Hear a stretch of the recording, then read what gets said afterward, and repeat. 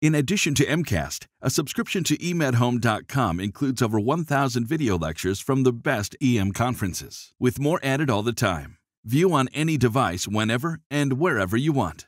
All this and so much more, including hundreds of CME credits each year for the low cost of only $99. emedhome.com. For 20 years, the homepage of emergency medicine. Subscribe now. Greetings, everyone, and welcome to this special edition of eMed Home's EMcast. This is Amal Mattu from the University of Maryland School of Medicine, and welcome.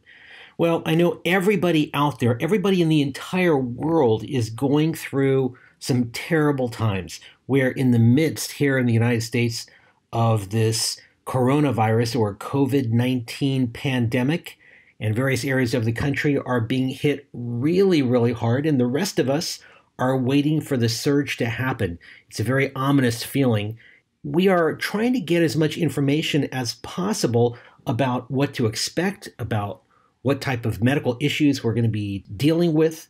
And a lot of what we are learning is from people who are already in the middle of the research and also from some of the international folks out there that have gone past the peak and are now trying to pick up the pieces of what this pandemic has done uh, to their medical systems. And so here we are on Sunday, March 22nd, doing a recording to talk about some of these issues. And I'll preface all of this by just letting people know this quality of recording is not what we normally would like, but we do have to do this in uh, somewhat of a remote way. I'm going to be having two guests come on board. We are, of course, practicing social distancing. Normally, I like sitting down with them in my office, but we have to do this over the computer. And so the recording quality is not going to be quite as good, but hopefully you're going to be able to get the key points out there anyway. I don't want to go through the basics of COVID. We, we've heard so much from China and South Korea, Italy, and Washington, and now New York City about a lot of the basics. But I did want to talk about some of the newer critical care issues and airway issues that have been coming out recently. And in order to do that, I, I wanted to get two of the absolute smartest people I know, some of the best clinicians I've ever known. Unfortunately, they weren't available today. And so instead, Instead, no, I've got two fantastic colleagues. You know, in this day and age, we've got to find something to laugh about, right? So I've got online with me Dr. Ken Butler and Dr. Mike Winters. And for anybody out there who knows me and who knows these guys, they absolutely know that I'm totally joking. Ken and Mike really are a couple of the absolutely smartest people I know, two people that, without exaggeration, I would have any member of my family taken care of by them without hesitation. So, just as a little background, Ken is our associate residency director. He's uh, one of our senior faculty. He's been on faculty for quite some time and just an outstanding educator. And he's our airway guru. He has taught not only our residents over the past maybe 30 years or so, but he's taught hundreds probably thousands of uh, physicians out there airway skills through his courses. And I've also got Dr. Mike Winters, who, as you know, he's our critical care guru here at university in the emergency department. He's also our vice chair of, I guess, vice chair of operations is how I would describe his role. And so Mike has been in the thick of pretty much every godforsaken administrative meeting we've had over the past couple of weeks. And, uh, and, and both of them have been working clinically amidst all of this stuff that's been going on here in Baltimore. So, first of all, Mike and Ken, thanks so much for your precious time. I know it's very limited in having or in taking the time to, to come and talk to us about some of these issues. I really appreciate you guys uh, making the time for this. Well, thanks, Amal. We're happy to join you on this very, very important podcast and the opportunity to partner with you and Ken and talk about a little bit of clinical care as it pertains to COVID 19. Very, very kind introduction. So, thank you. Thank you. I agree. Thanks. Thanks. Definitely. Thank you guys. And Mike, I'm sure this is a reprieve from all the administrative hassle that you've been having to deal with recently. But we're, we're going to primarily focus not again not on the basics, but some of the critical care and airway issues in the patient with known or suspected COVID. And Ken's going to take us into kind of a deep dive regarding the intubation issues in just a bit. But before we get there, there is some really important critical care issues that have been brought up from the physicians around the world that have been taking care of these patients uh, that are in later stages that we haven't even seen yet here in Baltimore. And Mike, can you First of all, just take us through some of those issues, critical care issues that have been emerging in the literature, and also perhaps from some of our own hospital experts, and get some of your thoughts about some of these critical care pearls and pitfalls that we should know. Yeah, definitely, Amal. And I think you said it right a few minutes ago that we're recording this here on Sunday, March 22nd. And it could be by the time that our listeners hear this, components of what we talk about today are even going to be a little different and altered as we continue to gain experience managing these the critical care patients who are infected with COVID-19. And in terms of that, there, there is a lot of debate and there's a lot of discussion, a lot that we're learning over the past even seven to 10 days about the illness itself. And, you know, I've heard it amongst many inner circles described as, you know, kind of a three week illness. In that first week or so, folks are presenting with the typical viral symptoms that we would have with any influenza season or any other viral illness. And then sometime during the second week, that seven, eight, nine, 10 day range, maybe even 12 day range, patients are relatively abruptly and quickly decompensating from the pneumonia aspect of it. They're presenting in respiratory distress, they're presenting with significant hypoxemia and needing some degree of resuscitation, probable airway intervention, institution of mechanical ventilation. So, those are a few of the things that we had talked about focusing on. And I have to say that I'm not sure that anyone knows the exact right answer as to how to manage these patients. If we just step back from the COVID 19 epidemic and pandemic, when we have someone coming in with respiratory distress, depending on what the underlying etiology is, we have a lot in our armamentarium to treat them with from a respiratory distress standpoint. We could administer bronchodilator or nebulized bronchodilator therapy. We could use non invasive ventilation strategies, and that could be either high flow nasal cannula, that could be non invasive ventilation, that would be CPAP or BiPAP. And then if they fail that, we could then move on to intubation and institution of mechanical ventilation. So those tend to be a lot of what our armamentarium is. And there's a lot of questions, significant concerns around the, the initial portions of that, namely aerosolization, bronchodilator therapy, and then the use of non invasive ventilation strategies with high flow or BiPAP or CPAP. And that's because we are very concerned about aerosolizing this into the room with others and then subsequently infecting other patients because of the way that COVID 19 is transmitted via respiratory droplets. And there's lots of guidelines, and I think societies, international and national organizations, are kind of scrambling to get some things in print and online for their members to help guide them through when these patients present with abrupt decompensation, respiratory distress. And there are some out there, and I, I think that as we kind of walk through that, we can hit some pearls and potential pitfalls. And to that end, Amal, when someone's coming in and, and you have a very high suspicion, I, I think at this point we're going to move away from at risk versus no risk and simply say sick versus not sick. I think we're getting to that stage in the illness and, and treatment across at least the US, and I know many of our international colleagues are well beyond that. But in someone coming in with minor respiratory symptoms, you're going to undergo your evaluation and management algorithms as you've all instituted at your respective organizations. But when you start to see the hypoxemia, you know, provided that they're in not in significant distress and they're not they don't have significant comorbidities, you know, starting off with providing them with a little bit of supplemental O2 via nasal cannula, just a few liters is probably reasonable. But as they progress along that disease spectrum, what do you do with high flow nasal cannula or non invasive ventilation? And I, when I say non invasive ventilation, I mean CPAP or BiPAP. Some have said avoid it. Don't use it because it is a high risk procedure or high risk treatment that will result in aerosolization of the virus. There are other organizations and folks that feel that you could give it a try and have lower settings.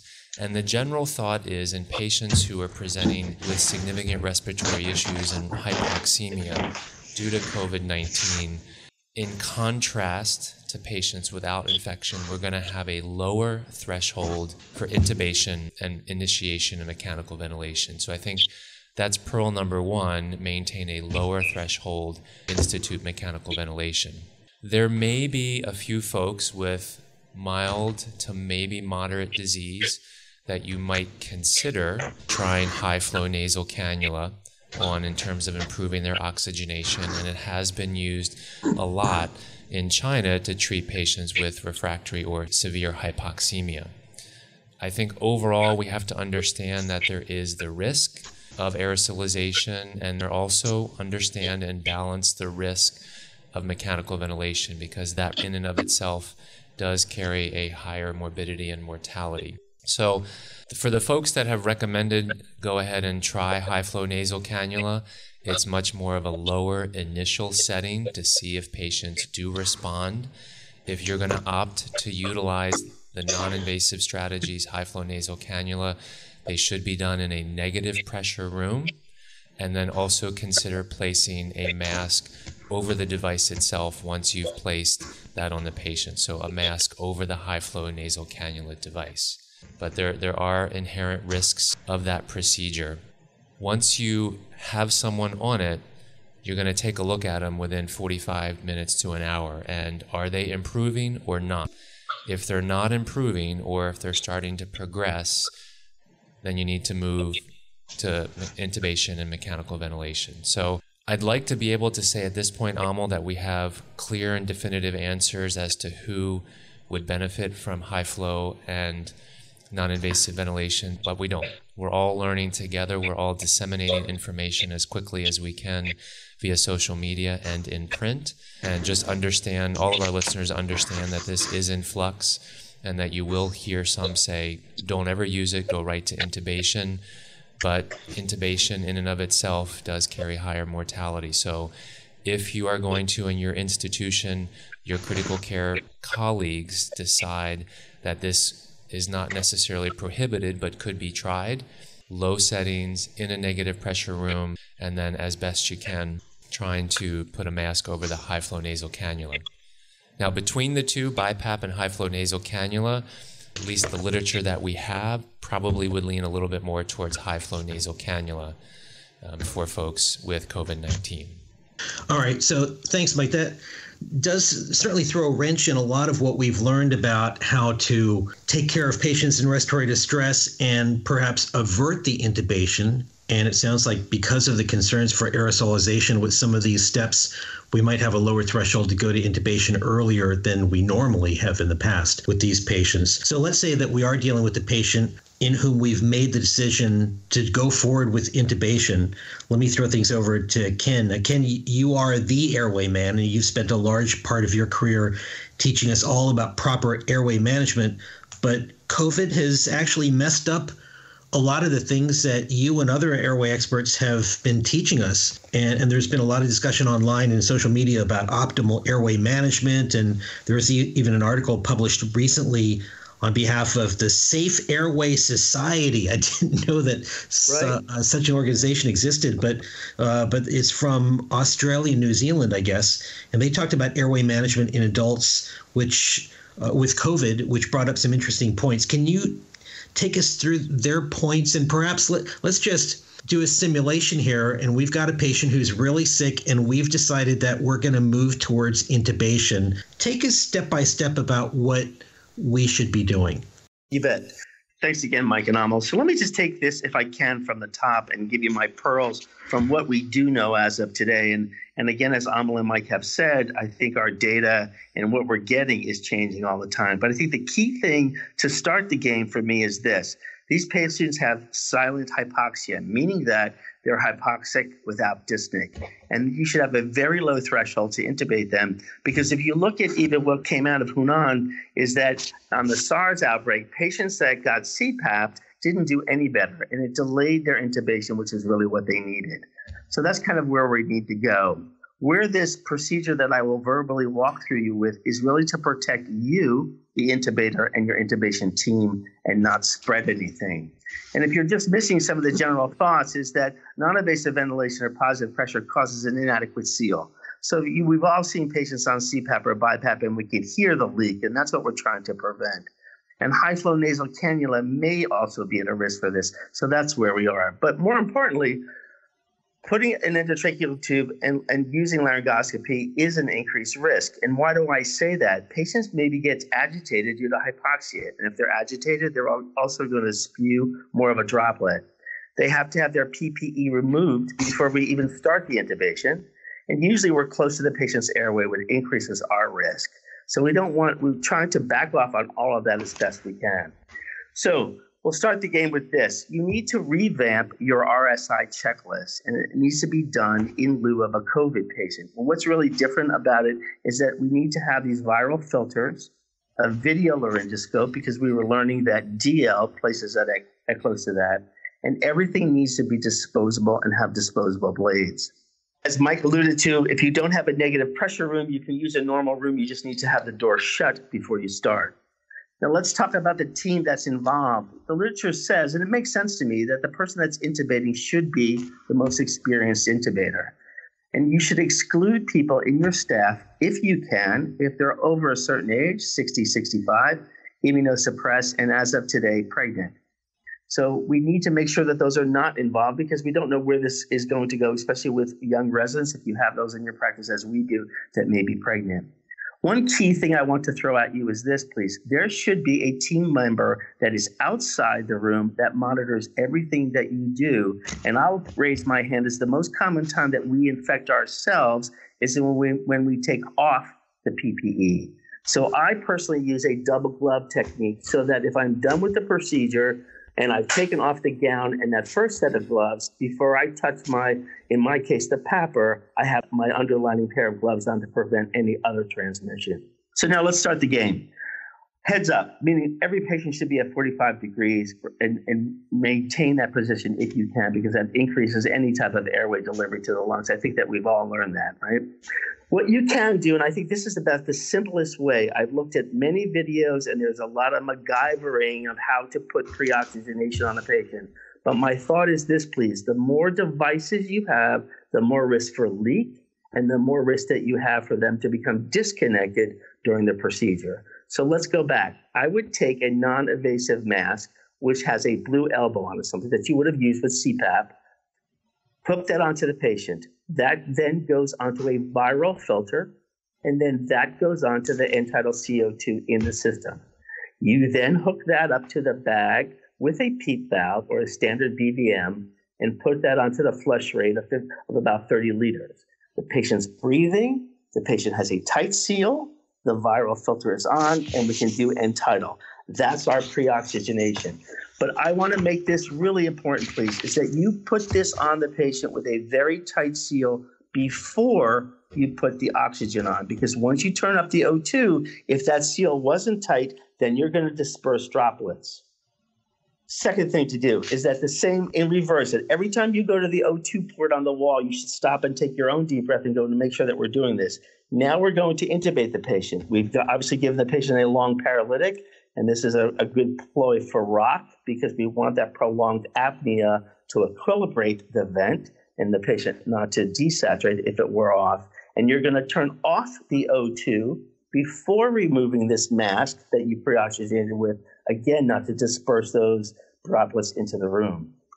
Then VL, we're only going to use VL because we know that we can keep our distance with this and we're not doing DL so we don't uh, get as close as we can to the patient other pearls is that you need to make sure your depth of placement of the endotracheal tube is the best as it can be because this is where the we we sometimes forget to do is an inflate the cuff and make sure it's the appropriate cuff depth before you ever bag that patient. We've all intubated patients in our career and we've had cuff leaks. We've heard them, we've seen them on end-tidal. This is where we can't come into play. We can't take that risk right now. So the cuff pressure should be between that 22 and 24 that we've all used to be doing. But we don't want to deflate the cuff, then move the tube because we were not in the right position. So be diligent about your, your endotracheal tube length and having the cuff inflated before you put the patient on the ventilator.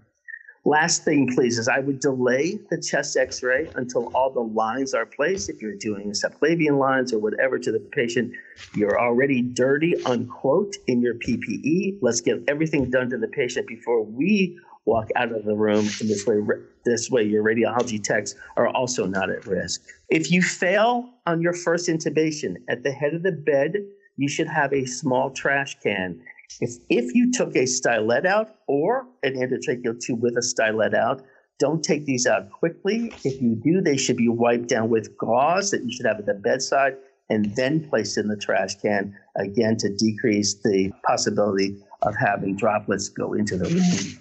And the last thing I will have to say, this is a good time for anyone of your listeners that's not using succinylcholine to, of course, to use rock because we need that delayed apnea time because that's going to benefit you and not put you at risk as the intubator and, of course, your patients. That's what I've got. Great pearls, Ken. Thanks. Uh, are there any differences in the vent settings once you've got them tubed? And I guess this question really goes out to either one of you. Mike, do you want to take that? I, I just uh, my two cents is that I think from what we we learning about this ARDS picture with this virus is that we need PEEP, but I will leave that to you, please. Yeah, so I think that certainly there's a lot of pearls to take home and potential pitfalls once we get to ventilation, but I think just to go back and reiterate some of the things that Ken and I have talked about lower threshold for intubation, but we can't intubate every single person. So there may be folks on the milder spectrum. You may, depending on your organization and institution, still utilize some non-invasive therapies, understanding there risk there is a risk of aerosolization. So negative pressure room if possible. With respect to just nasal cannula, probably okay just doing two or three liters, but once you get north of six liters, then you're likely to be aerosolizing droplets into the environment. In terms of that high flow, thinking about numbers, if it's something that you've opted to use, weighing the risks and potential benefits for that particular patient, we've tried to put some numbers around that in our own internal document. And with a with high flow, really keeping it less than 30 liters per minute. And if it, FiO2s are getting higher than 50, 60, certainly 70%, that's someone that's not doing well and needs to be intubated. So I agree with all of the things that Ken was saying in terms of the RSI procedure, those precautions, highlighting the viral filter on there. Now, once you've gotten them intubated and moved over to mechanical ventilation, this is truly ARDS or ARDSNet protocol. So, depending on your institution, some will say starting off at that 8 milliliters per kilogram of predicted body weight.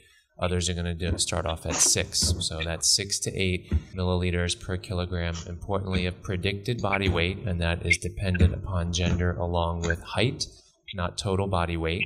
Once you've set that, determining your oxygenation goals, in general, titrating to pulse oximetry readings between 88 to say 92% is what you're shooting for for a target. And when you click on references with respect to the ARDSNet, there are PEEP FiO2 tables, depending on whether you're going with a lower PEEP, higher FiO2 strategy or a higher PEEP, lower FiO2 strategy. There's some great recommendations, or the tables provide you how to titrate and walk up the degree of FiO2, combining that with PEEP strategy. This is not likely to be something where you're going to put someone up to 100% FiO2 and just keep them on the standard 5 of PEEP. You're going to need to titrate that accordingly according to the ARDSNet protocol. In terms of once they're on the vent, depending on what your critical care capacity and resources are like at your organization, some of these patients may be remaining in your ED for many, many hours. You definitely want to be checking things that we've always talked about. You want to be checking that plateau pressure at least every four hours and after every time you make a change in tidal volume or PEEP with your goal of plateau pressure being less than 30. If, let's just say, you've started with 6 mLs per kilogram of predicted body weight, you then follow a plateau pressure and your next plateau pressure reading is, say, 40 then your step, next step is to decrease that tidal volume by 1 ml per kilogram down to about 4 mLs per kilogram. That's around the lower limit in terms of tidal volume. So those are some, some big things. Amal, is definitely lung protective ventilatory strategies, lower lung volumes, titrating FiO2 and PEEP according to established ARDSNet tables, following plateau pressures, maintaining that goal less than 30. Just a few other things with respect to AR, ARDSNet or managing patients with ARDS, we are not going to be aggressive with volume. In fact, many of these patients who are currently in ICUs with our colleagues around the country, they are attempting to aggressively diurese them, so keeping them on dry side, and a lot of prone positioning um, folks, depending on where they're at in their disease spectrum. Once again, if you're at maximum critical care capacity, and a lot of these patients are now stacking up and volume is building in your ED and they're remaining for many, many hours, it may not be unheard of that some of you may be moving towards proning in the ED. So that, that is one of the standard ARDS protocol therapies. So keeping them in the prone position. And what exactly does that do? Well, in terms of just moving sort of the the dependent lung. So if you're always in the supine position, this particular virus tends to have a predilection for the posterior lower lung segments. And so if you're laying in the, the patient's laying in the supine position or even with the head of the bed elevated at 30 degrees, those posterior lung segments are always collapsed. And so proning them, you're helping to improve aeration to those posterior lung segments. Okay. Any benefits at Trendelenburg then, if if the lower lung fields tend to be more uh, affected? Not that I'm aware of. No, it would just strictly be proning, and that it often does require specialized equipment, beds that make it sure. much easier to prone the patient. It's not going to be as if you're just going to go in there and turn a ventilated patient in one of our standard ED beds. So there, there's a lot that goes with it, but uh, it's something to consider depending on the length of stay and how we continue to move through this pandemic with patients in our EDs. Okay, and just to clarify, you were talking about predicted body weight. Is that essentially the ideal body weight? Yes. Okay. All right. Well, let's uh, let's wrap things up. That there's been just a ton of really great pearls and discussion here. Uh, you know, in in these unfortunate times, uh, I I, I always try to find some silver lining in in things and trying to figure out what is going to make us how is this going to make us better in the future? And so i know that's a tough question but let me throw it to you guys. Uh, once this covid crisis is over in what ways do you think our eds and hospitals and our clinical practice uh, will be better moving forward for having gone through this terrible crisis I, I hate to say this because I'm the I guess I'm the veteran of the three of us, but the Coast Guard model in Latin is semper paratus, which means always be prepared. And I think we've learned a lot that we may not be prepared for the next onslaught, right? We had the Spanish flu, we've seen Ebola, we've seen other viral illnesses and bacterial illnesses that come very quickly. And if there's something positive, I think for me that comes out of this is that it may not hope, hopefully happen in my generation, but this will happen again.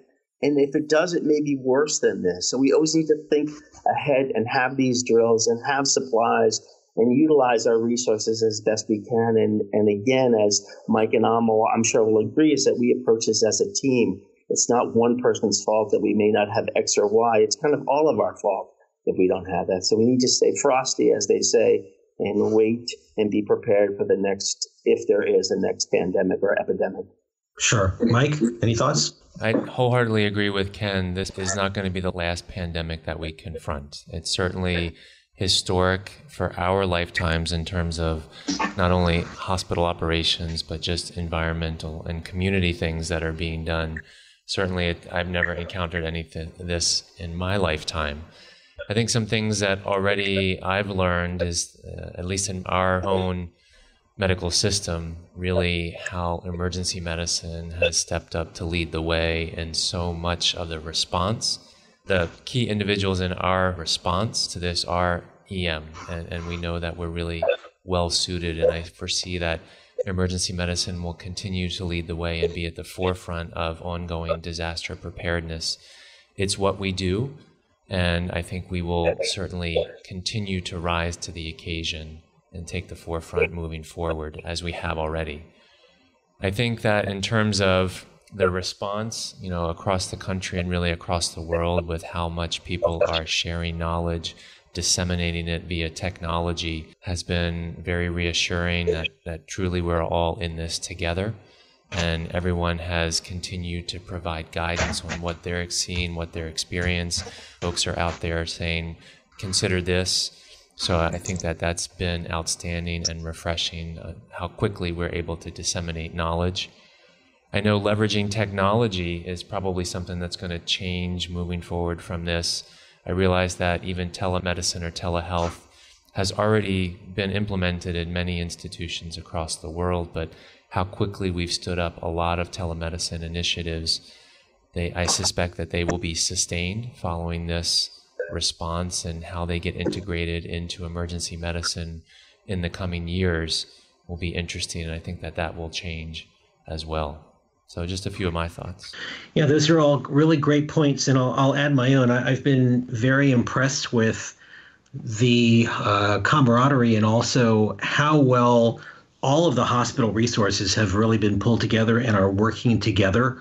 Uh, I've been impressed similarly with the international community type of response. Scientists all over the world getting together, or even politicians for once getting together and, and working together, uh, politicians and leaders from all over the world. And, and you just wonder if if everyone is pulling together like this to fight a common enemy, maybe maybe we can do this even when there is no common enemy. So I don't know if that's just wishful thinking, but um, but I think that there has to be some silver lining that comes through all of this. So, with those as some final thoughts, again, Mike and Ken, I know again how busy you guys are, and really appreciate you taking time out of your Sunday. Uh, even though Sunday is typically a day off, I know you guys are very involved in, in working hard uh, even today on this whole COVID stuff. Appreciate your time, and all of the listeners out there, please take care of yourselves, take care of your colleagues and uh, as new developments come out, we'll, we'll try to get these out there on the EMCast. So take care, everyone. Hey, thanks for listening to EMCast. And for listening to the end, here's a discount code for you. Use discount code PODCAST for 10% off each year of an annual subscription to emedhome.com.